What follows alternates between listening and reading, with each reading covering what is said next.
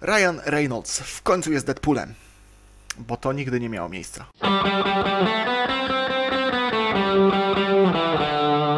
Deadpool, czyli jeden z filmów, który znalazł się na mojej liście 10 najbardziej wyczekiwanych produkcji tego roku.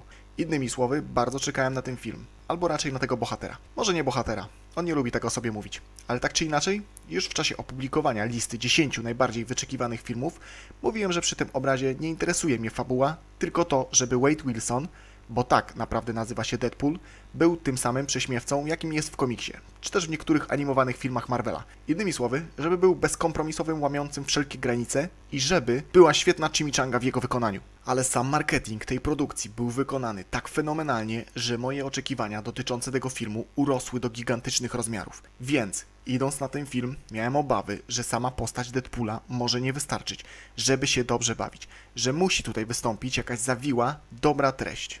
Kurna nie musi! Już teraz mówię, że film jest prosty, historia jest prosta jak oddychanie, ale dzięki Deadpoolowi i jego osobowości jest niesamowicie interesująco i zabawnie. Nie wyobrażam sobie kogokolwiek, kto wychodząc z seansu powiedziałby o tym filmie o stary, to było nudne, chcę zwrotu pieniędzy za bilet. Jeżeli wiesz, jaki jest Deadpool i jego osobowość, pokochasz ten film. Wade Wilson jest byłym żołnierzem służb specjalnych, a obecnie najemnikiem. Po zdiagnozowaniu w jego ciele raka, wszystkiego, bo na każdym ważniejszym organie wykryto u niego raka, poddaje się rządowemu eksperymentowi celem zwalczenia swojej choroby. A przynajmniej tak mu się wydaje, że po wyleczeniu ma pracować dla rządu. Niestety to wszystko była lipa. Tak naprawdę to są bardzo złe charaktery, które zrobiły coś Wade'owi.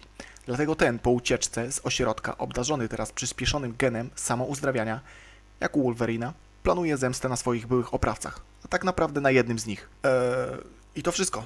To cała treść. Po wyjściu z kina poukładałem to sobie w głowie i jak mówiłem na początku, wyszła bardzo prosta historia, ale twórcy tak kapitalnie ją pokierowali poprzez retrospekcję, cofanie się do przodu i do tyłu historii, a w szczególności poprzez osobowość Deadpoola, że nie czujesz nudy ani przystanku w tym filmie nawet na sekundę. Nawet w momentach tak zwanych miłosnych z dziewczyną Wade'a nie myślałem, dobra, ale do przodu, wracajmy do akcji, bo to zaczyna się robić nudne. Nie, tutaj to nie występuje, a nawet mogłoby być tej dziewczyny jeszcze więcej, bo po pierwsze, ta laska jest gorąca. Po drugie, to idealna dziewczyna. Znała się nawet na Gwiezdnych Wojnach, a sceny łóżkowe były chyba jedne z najbardziej zabawnych, jakie widziałem w filmie. Więc tak, to idealny film na walentynki. Ryan Reynolds jest od dzisiaj Deadpoolem i to oficjalnie. Od teraz nie wyobrażam sobie, żeby ktokolwiek inny mógł zagrać tego kolesia w filmie. To, co tutaj zrobił, było mistrzostwem świata. Teraz jakbym spróbował wam powiedzieć i dać przykład jakiegoś jego tekstu, jak rozbija czwartą ścianę, jak daje nam do zrozumienia, że to film, albo jego relacje z X-Menami, powiedzielibyście, że to nie jest śmieszne, ponieważ nie jestem Deadpoolem, Ryanem Reynoldsem i nie sprzedam wam tego tak, jak on to zrobił. Po prostu trzeba ten film i tą osobowość zobaczyć na własne oczy, żeby zrozumieć i żeby zacząć się śmiać. A jeżeli już mowa o X-Menach, to chciałbym go zobaczyć w jednym filmie z Loganem. Dałbym każde pieniądze, żeby to zobaczyć. W pewnym sensie Hugh Jackman zalicza tutaj epizodyczny występ, ale tylko w pewnym sensie, więc nie podniecajcie się tym faktem tak bardzo. Ten film był kapitalny w swojej kategorii, czyli świetnej rozrywki. Przezabawny, bezkompromisowy, odważny i pionierski. Od teraz zapewne się pojawi więcej filmów komiksowych z tą kategorią wiekową.